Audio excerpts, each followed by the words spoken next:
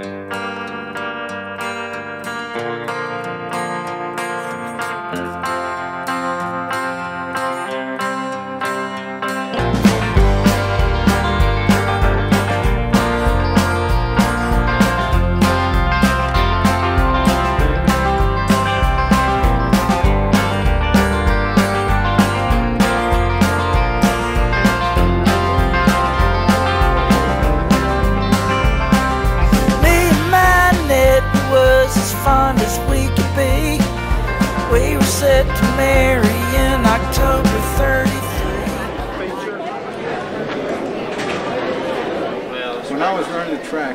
well, certainly Raymond needs to be in this Hall of Fame because uh, he was one of the pioneers and uh, in the early days when a lot of people didn't want to, you know, this was a deal where, you know, your mother would tell you there's two things you don't want to get involved with. One is hillbilly music and the other is stock car racing.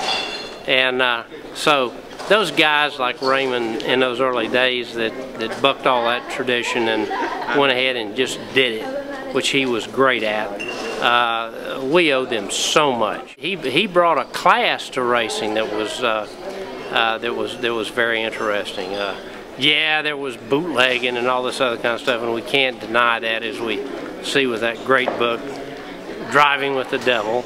but that was part of it, and Raymond Parks was part of it, and he needs to be in this uh, as much as any human being. Hey, listen, it's part of our tradition, it's part of our heritage. It was born fighting, you know, and uh, it was part of what we do, and, and it was the part of the culture, and really it still needs to be. And, you know, if you have a sport, you have a, a something that's as big as NASCAR, you need heritage, you need tradition, and you need to tell it like it really was. And what it really was was about Raymond Parks and people like that.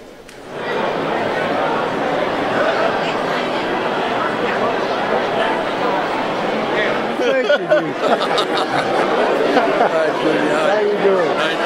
Who's that girl? I think NASCAR would be where it's at today because he funded several race teams that nobody else was able to do and uh, he supported everything went on. Uh, plumb till today, he still supports NASCAR.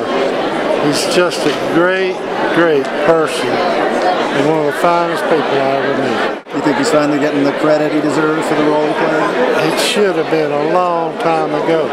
He should have been one of the first. That's what this sport has kind of failed to do. Bring the people in it that got it where it's at today. Oh yeah, by all means. I mean, the things that he's done, good grief, he's he he should be in everybody's Hall of Fame you can't quantify what they mean to the sport because they were the pioneers. They they they are like Bill France Sr. They they had a vision of, of what this sport could be if it was organized and run right, and that's the thing that uh, so many of those older guys did. They knew that uh, this was a great opportunity for them to kind of go out and do what they were really good at, and that was build cars and race cars, and uh, by golly, they did a pretty good job of it. I think there's still enough old people around, old drivers around, and old NASCAR people, Jim Hunter for one, that uh, they realize the value of honoring these guys while they're still with us. Yeah, all right. They're, they're our history. We're lucky. Yeah. Not a lot of sports can say, this is the guy that was there at the first race. This is the guy that won the first race. They can't say that about football, basketball, baseball, or anything else, but we can say that in racing, and we should, uh, we should honor that and, and be grateful.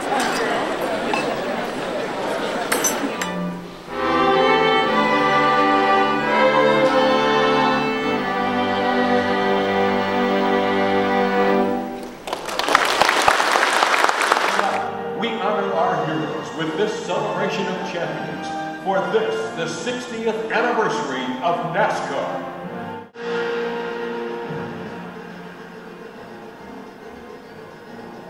Bobby Allison. Darrell Waltrip. David Pearson. Junior Johnson. There can only be one first. And this gentleman built the team that won NASCAR's very first championship. We will honor his driver, Red Byron, later this evening, but now would you please stand and honor NASCAR's first championship owner, Mr. Raymond Parks.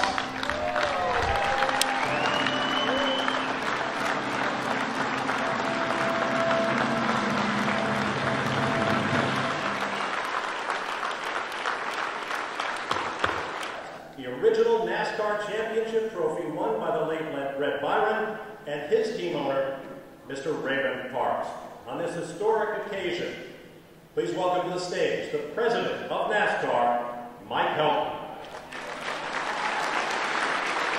I've got to tell you that there's no way that I could explain to you the feeling of a guy that gets to work and do what I do every day in this sport, to be able to stand and watch this group talk to each other with the sparks in their eyes about something that we do every day and take for granted that they've put together for 60 years. There's no greater moment for NASCAR than to have a group of its pioneers that, that are all collectively together that can represent the entire history of the sport like we've got on stage tonight, from, from Raymond Parks to Ray Fox to Jimmie Johnson and all the guys in between.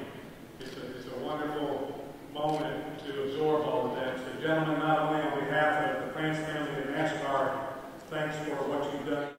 These are the ones that put NASCAR on the map.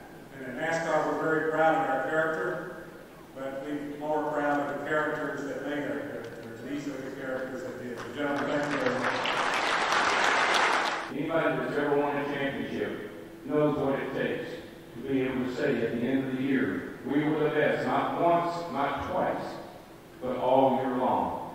That's a champion. That's a championship team. This is a historic photo opportunity, like welcome you in the audience to step forward for your own personal photograph.